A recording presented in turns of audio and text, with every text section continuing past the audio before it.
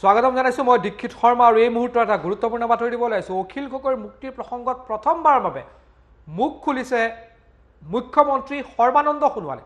সৰ্বানন্দ সোণোৱাল আজি নগাঁৱত উপস্থিত হৈছিলগৈ কেইবাটাও আধাৰশিলা স্থাপন কৰে এটা প্ৰেক্ষাগৃহৰ উদ্বোধন কৰে আৰু কেইবাটাও প্ৰকল্পৰ আধাৰশিলা তেওঁ স্থাপন কৰে আৰু তাতেই তেওঁক অখিল গগৈৰ মুক্তিৰ প্ৰসংগটো সোধা হৈছিল সোধা হৈছিলে। আৰু তেতিয়াই তেওঁ এই প্ৰসংগত নিজৰ মুখ খুলিছে আৰু মন্তব্য দি কৈছে যে এইটো সম্পূৰ্ণৰূপে ন্যায়ালয়ৰ বিষয়। এই মুহূৰ্তৰ এই গুৰুত্বপূৰ্ণ বাতৰিটো আপোনালোকলৈ আগবঢ়াইছোঁ। অখিল গগৈ মুক্তি মুক্তিৰ সন্দৰ্ভত এইবাৰ মুখ খুলিছে মুখ্যমন্ত্ৰী সৰ্বানন্দ সোণোৱালে। অখিল গগৈৰ মুক্তিৰ বিষয়ত হাত নাই ৰাজ্য চৰকাৰৰ। মন্তব্য মুখ্যমন্ত্ৰী সৰ্বানন্দ সোণোৱালৰ। মুক্তিৰ সন্দৰ্ভত সিদ্ধান্ত বা যি সিদ্ধান্ত আছে সেয়া ন্যায়ালয়ৰ ওপৰতহে নিৰ্ভৰ কৰিব।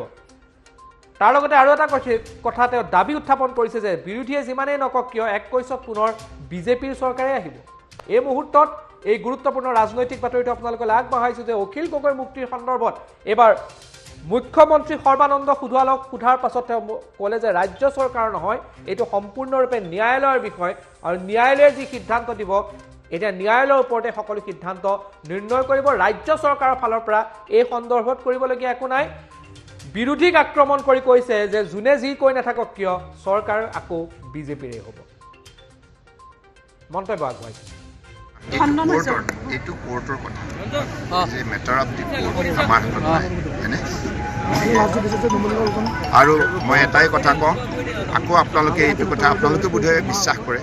আকৌ বিজেপি চৰকাৰে হ'ব হয় কংগ্ৰেছ বা ইত্যাদি ইত্যাদি যিয়ে ক- নকৰক কিয় সেইবিলাক মানুহৰ বিশ্বাসত নলয় কাৰণ কংগ্ৰেছে পঁচপন্ন বছৰ কাল সুযোগ পোৱাৰ পাছতো আমি চাৰি বছৰ যি কাম কৰিলোঁ সততা নিশ্চয় কংগ্ৰেছে নোৱাৰিলে কংগ্ৰেছে যে টটিল ফেইলাৰ।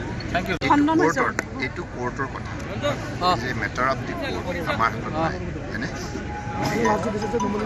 আৰু মই এটাই কথা কওঁ আকৌ আপোনালোকে এইটো কথা আপোনালোকে বোধহয় বিশ্বাস কৰে আকৌ বিজেপি চৰকাৰে হ'ব হয়?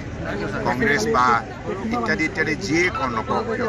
সেইবিলাক মানুহৰ বিশ্বাসত নলয় কাৰণ কংগ্ৰেছে পঁচপন্ন বছৰ কাল সুযোগ পোৱাৰ পাছতো আমি চাৰি বছৰ যি কাম কৰিলোঁ সততা নিশ্চয় কংগ্ৰেছে নোৱাৰিলে। কংগ্ৰেছ